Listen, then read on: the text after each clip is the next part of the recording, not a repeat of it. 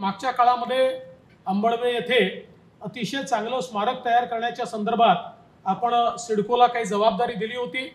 मध्यंतरी कोविड वगैरे असल्यामुळे कदाचित हे काम मागे पडलं असेल पण आता ती जबाबदारी आमच्या उदयजींनी या ठिकाणी घेतलेली आहे.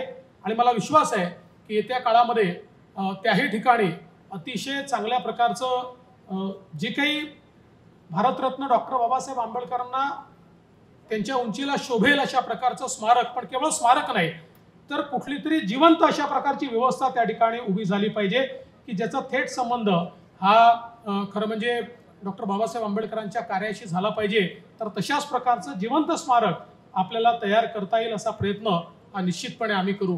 मी आज या निमित्ताने विशेषतः आदरणीय गवई साहेबांचे आभार मानेन की त्यांनी वारंवार या ठिकाणी महाराष्ट्रामध्ये आमच्या या सगळ्या प्रक्रियेला त्यांची मदत असते.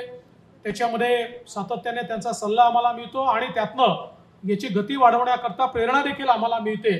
ते जरी या ठिकाणी सर्वोच्च न्यायालयाचे न्यायमूर्ती असले तरी आमच्या सगळ्या महाराष्ट्राच्या ज्युडिशियरी करता ते पालकाच्या भूमिकेत त्या ठिकाणी असतात.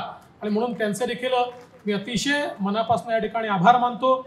आणि माननीय देवेंद्र कुमार उपाध्याय साहेब आपले देखील आभार मानतो. आपले विशेष आभार याकरता मानतो. की मला असं वाटतं तीन महिने थांबायची फार गरज पडणार नाही. आज आपण जे मराठीमध्ये या ठिकाणी वाचलं ती फ्लुएन्सी अतिशय चांगली होती. त्याच्यामुळे मला विश्वास आहे की तीन महिन्यांनी आपण कदाचित आमच्यापेक्षा देखील चांगलं या ठिकाणी मराठीमध्ये भाषण कराल. मी आपले देखील अतिशय मनापासून आभार मानतो.